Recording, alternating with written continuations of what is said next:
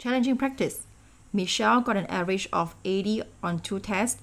What score must she get on the third test so that the average score for the three tests is the same as the average score for the first two tests?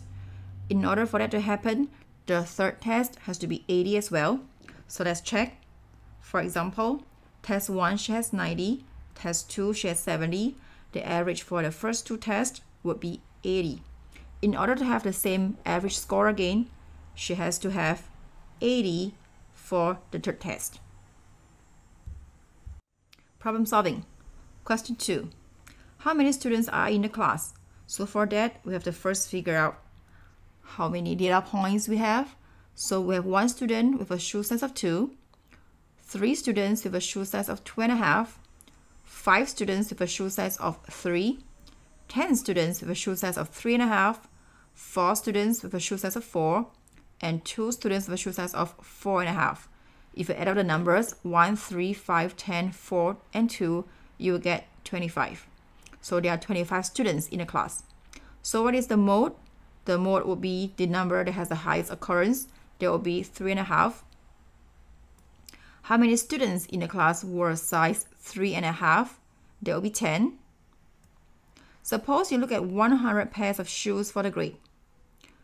So how many pairs of three and a half would there be?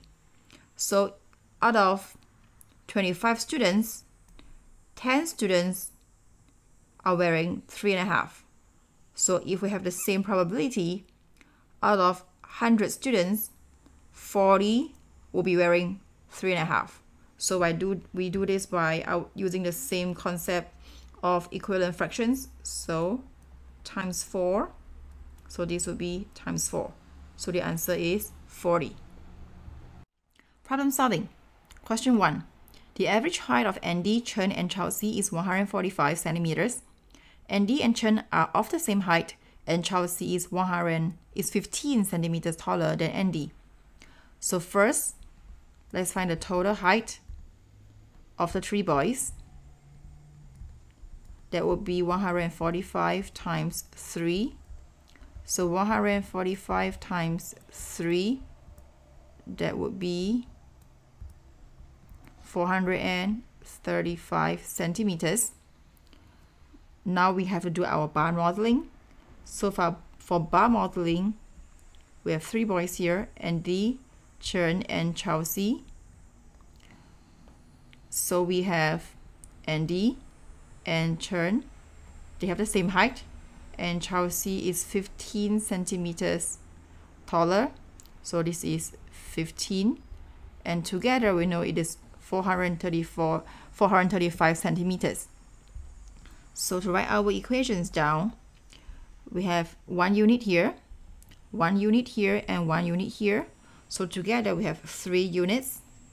So three units will be equals to 435 subtract 15 15 is here. So this will be 420. So if 3 units is equal to 420, 1 unit will be 420 divided by 3. So 420 divided by 3 can break this into 300 and 120. So 420 divided by 3. So we have 100 in each group. So we have 120 remaining. We are going to have 40 in each group. So the answer is 140. So let's look at 140. So 140 would be here, here, and here. So let's look at our answers. So Andy's height, Andy's height would be 140 centimeters and Chelsea's height.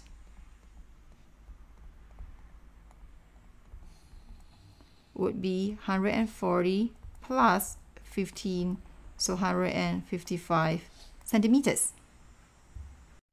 Problem solving question 2 so Eduardo has three times as many stems as Sally. The average number of stems they have is 450 how many more stems does Eduardo have than Sally? So over here the average number of stems they have is 450. So the total number of stems that they have is 900. So we're going to do our modeling over here. So Eduardo has three times as many. So one, two, three. Three times as many as Sally. And together they have 900. So how many units do we have over here? We have one unit, one unit, one unit, and one unit. We have four units over here, and four units is equals to 900. So one unit has to be 900 divided by 4, which is 225. And in this case, we have to find out how many more stems does Eduardo have than Sally. So Eduardo has two more units than Sally. And two more units is equals to 225 times 2, which is 450. Question 3 is slightly more challenging. So for question 3, we have two bags over here, bag A and bag B. So they each have two marbles, one white and one red, one white and one red. The probability of getting a white marble from bag A is one half.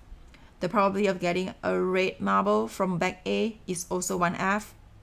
Similarly, the probability of getting a white marble from bag B is one half. The probability of getting a red marble from bag B is also one half. So now, we want to get two white marbles.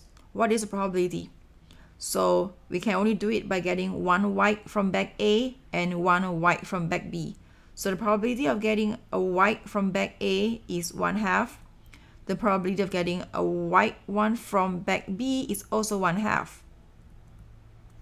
So the probability is one fourth. B is slightly more tricky. So to get one red and one white, we can have a red and a white or a white and a red. So we can have a red from bag A and a white from bag B or a white from bag A and a red from bag B. That will still give us one red and one white. So what is the probability of getting a red from bag A? One half. And a bag and a white from bag B? One half. What is the probability of getting a white from bag A followed by a red from bag B is one half times one half. So we can either, either one works. So the answer would be one fourth plus one fourth, which is one half. So again, this question is very tricky. So it is okay to go through this a few more times.